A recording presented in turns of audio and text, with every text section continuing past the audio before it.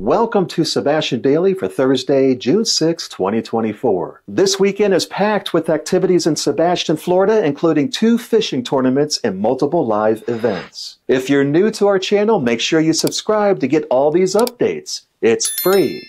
Okay, let's begin with your local weather. Sebastian will experience high temperatures this weekend, with temperatures reaching 93 to 94 degrees through Saturday before climbing to 95 on Sunday and Monday.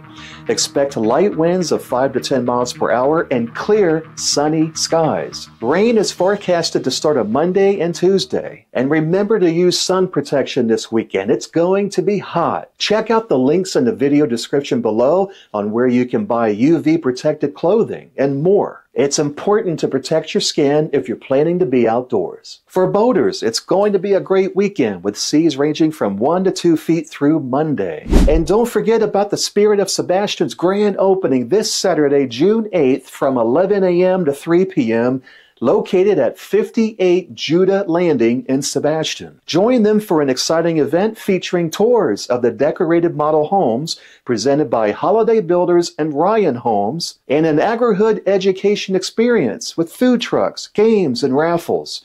The new community integrates agriculture into the residential living environment, offering residents fresh, locally grown produce and fostering a deep connection to nature and the land. Again, the Spirit of Sebastian's grand opening Saturday, June 8th from 11 a.m. to 3 p.m. at 58 Judah Lane in Sebastian. And here are some of the news stories we've been following. Last weekend was the Finally Friday event on Cleveland Street in Sebastian. The event more than doubled in vendors and attendees since the last one. The next Finally Friday event will be June 28th from 6 to 9 p.m. on Cleveland Street. To get there from Sebastian Boulevard, just head north a couple of blocks to Cleveland Street. For parking, just go to Riverview Park and park in the big lot next to the park. Then you can walk to Cleveland Street, which is behind Portside Pub.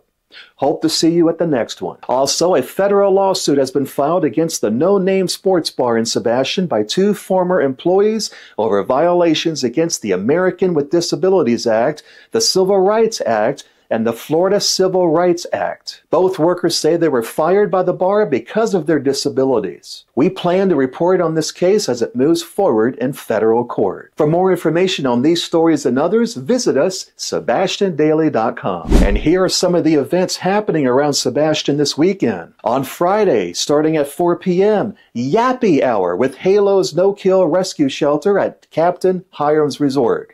This will feature some great dogs up for adoption.